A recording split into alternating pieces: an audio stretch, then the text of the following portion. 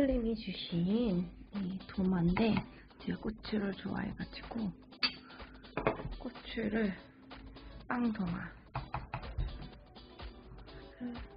이렇게 고추를 찍어서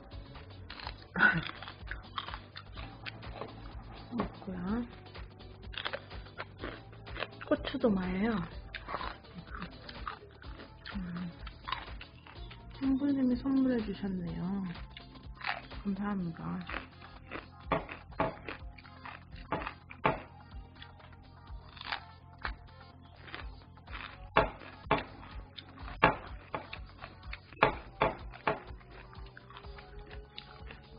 선물 민박에 우리 신랑하고 놀러 가겠습니다.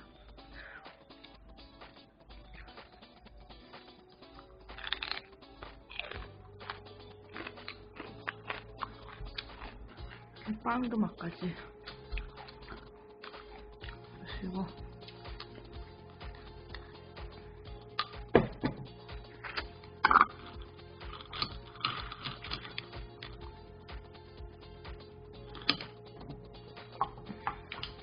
머리도 아주 이쁘네요.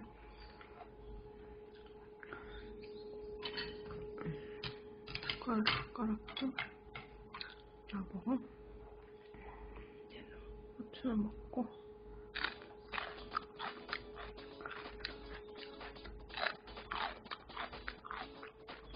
이건 청포도 주스예요.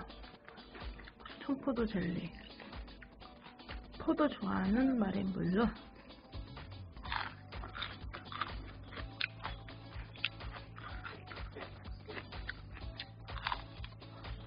어, 꼴찌야, 꼴찌.